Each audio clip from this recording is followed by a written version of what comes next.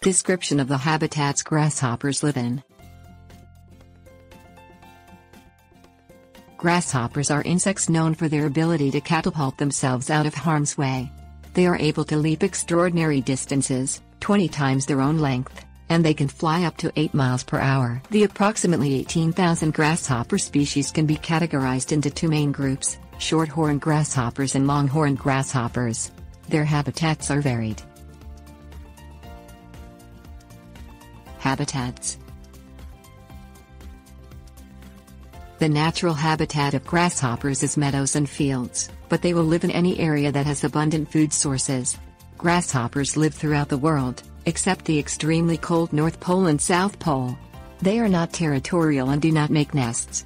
Migratory species sometimes group together in millions or billions of grasshoppers and search for new habitats with plentiful food. Food sources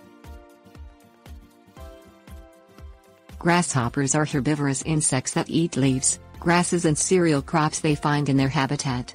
They feed mostly during the day.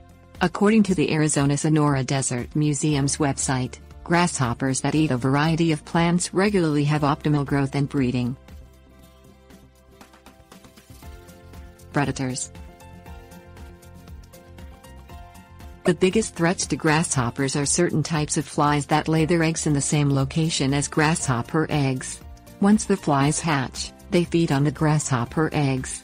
Some kinds of flies lay eggs directly on a grasshopper. They can do this even while the grasshopper is flying. Once they hatch, the baby flies consume the grasshopper. The many other predators of grasshoppers include snakes, spiders, birds, mice and beetles. Adaptations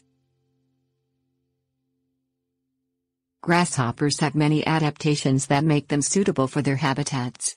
They are normally gray, green and brown. These colors camouflage them in their home's grass and leaves. The males of some grasshopper species attract females with their brightly colored wings.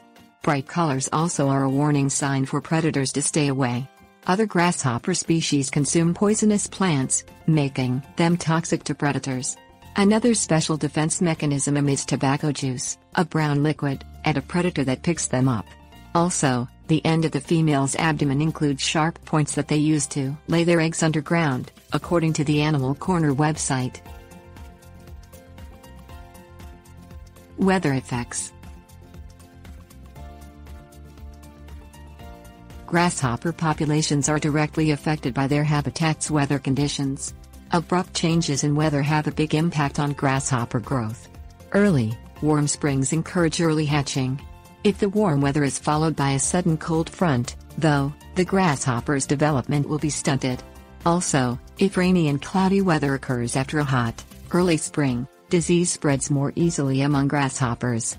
When summer is abnormally cool and autumn comes early, grasshoppers grow more slowly, and the egg-laying season is shortened.